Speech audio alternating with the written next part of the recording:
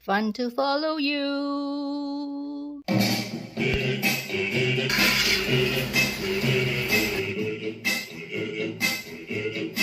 Today I'll be making Chinese pork chop king or we call it ji pa wong.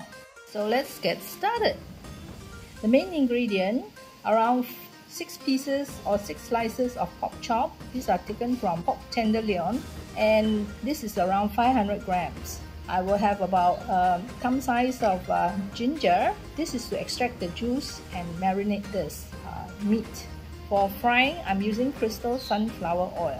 I need to extract the ginger from a thumb size of uh, ginger, preferably old ginger. And I'm using a zester or a grater. This is a plain grater to, to extract out the ginger pulp. And by the way, this ginger has been frozen because I bought a lot so I have to freeze it otherwise it will go bad. That's why it's pretty soft.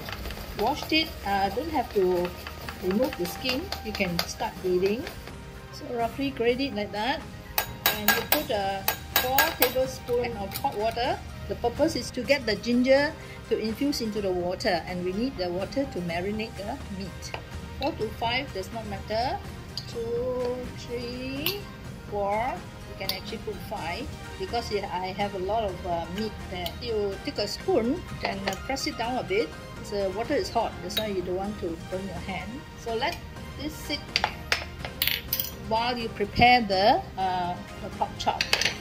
Wash it first.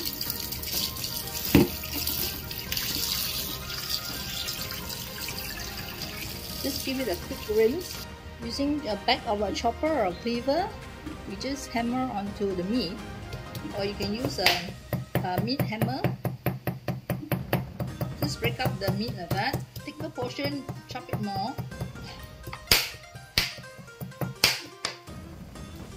Turn it around the other side also. And then you can either cut this into uh, three pieces or two pieces. So you prep all the meat like this. Thin this out and one piece of uh, pork tenderloin to be again cut into two slices.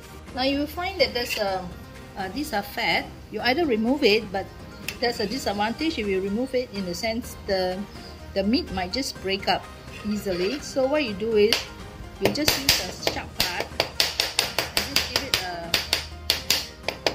slight chop to break up the the fat so that when you when you fry it doesn't shrink and hold back the meat. For bigger pieces, I actually divided into uh, three. So I'll continue doing all this uh, chopping and we'll come to show you how to marinate the meat.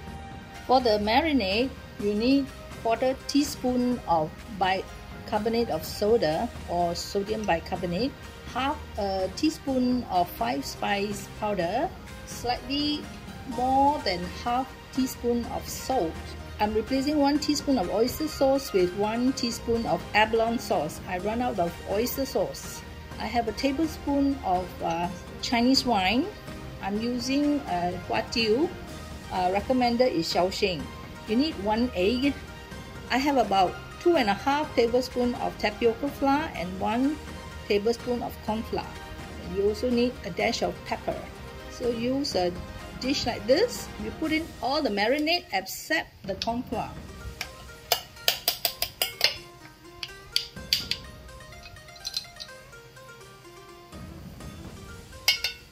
This one put last. When the meat goes in, you crack in the one egg, mix it well, and then uh, put in the uh, the meat but before that, I will strain in the ginger juice first. Use a strainer like this, strain in the ginger juice. Here is about uh, 4 tablespoons. So with the ginger juice, it be about 5. Then you dump in the, the meat, slices by slices. Uh, we also put in bicarbonate of soda last is because we want to uh, soften the meat further of course, some say that uh, ginger will also soften it, but ginger is more for killing the fishy smell or the smell of the pork. Use your hand, make sure all the pieces is well soaked. So now I'm adding in the bicarbonate of soda. I will let it sit for about 10 minutes before I add in the corn flour. This is to allow the liquid to absorb into the meat before I add in the corn flour. So I put in a dash of pepper. If you don't have white pepper, you can actually put black, not an issue. So you want it more spicy, you throw in more. So cover it and let it sit for about 10 minutes before I come back and put in the, the corn flour mixture.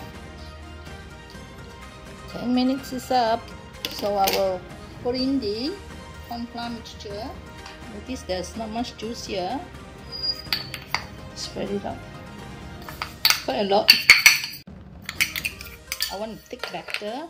Now if it's too dry, you can still add a tablespoon of water into the meat. If you go into this kind of texture, when you fry your your slices will be quite crispy. Make sure you have all the flour mixed well. If you're not in a hurry, it's preferable that you can marinate one hour. But if you are in a hurry, minimum time for marinating is half an hour. And that half an hour includes the 10 minutes that you marinated just now. It's a bit dry though. I can add in one tablespoon of water because I want the water to soak into the meat. The meat becomes soft inside and then crispy outside. We'll come back in an hour's time. While we marinate the pork chops, I will go through what we need for the sauce. You need uh, 3 tablespoons of HP sauce, 2 tablespoons of tomato sauce, one and a half tablespoon of Lea and Perrins, or we call it the LP sauce. You need three tablespoons of plum sauce, two to three tablespoons of sugar. Depends on the amount of sweetness. The this uh, plum sauce that I'm using is quite sweet. That's why I'll be using only two, and one and a half teaspoon of sesame oil to fragrant the, the sauce. You also need some toasted uh, sesame seeds for garnishing. 3 tablespoons of water. So just stir until the sugar dissolves. You can cook the sauce while waiting for the pork to marinate using medium heat. Pour the sauce in and cook until it kind of thicken. Because I'm cooking the sauce ahead of the pork chop, so I will let it cook until it's quite thick. Then I will switch off. Later, I will heat it up again. This is only to cook to get the, uh, I want to see whether the taste, because I reduced the, the sugar, so I need to taste it. After boiling, if you feel your sauce is too runny, you can add in a cornstarch slurry to thicken the sauce. One teaspoon of cornstarch to one teaspoon of water. You can increase the heat now so that it comes to a boil. Taste it's just right. It's rather runny now. Never mind, I'll switch off. I'm, I use mini wok because I don't want to use so much oil, about a cup. Heat the oil to medium. Use a chopstick like this to test the temperature of the oil. You find bubbles rising from the chopstick. Then the oil is quite hot. Very little bubbles now. So I'll give it another one minute of heating. So I took this out uh, maybe 10 minutes out of the fridge so that the meat is not so cold. The, the oil is quite hot now. You can see the bubble. So I'll place in the meat. Try to flatten. Place it flat on the pan. I think this pan can go about 4 or 5 pieces. Fry until it's uh, slightly brown. So once the meat has reached to this color, you can uh, you can remove it from the oil. So this one I have been frying for about I think it's about 4 minutes. Finished frying all the I think it's around 18 pieces of pork chops. So here I'll be heating up the sauce. It's quite thin here. Keep stirring. Do not stir as you pour to avoid clumping up. Then add in a teaspoon of sesame oil. So I'll just eye pour it. This is for the, the shine. When you add in the oil last, you notice the sauce is more shiny.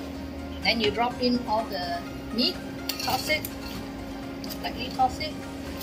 No need to cook it so long. You just want the sauce to be coated onto the pork chop. So once the, all the pieces are coated, you can switch off the heat. If you want to have a nice decoration, you can put it on top of a, a dish of lettuce. So you see, even though you put a lot of 3 tablespoons this and 3 tablespoons that, the sauce is really not a lot. The last thing to do is to sprinkle the toasted sesame seed onto the pork chop. So there you have it, Chinese pork chop king. Hope you enjoyed the video and if you did, please like, comment, share. Most importantly, subscribe to my channel to help me build the channel. Thank you for watching. Bye. Fun to follow you.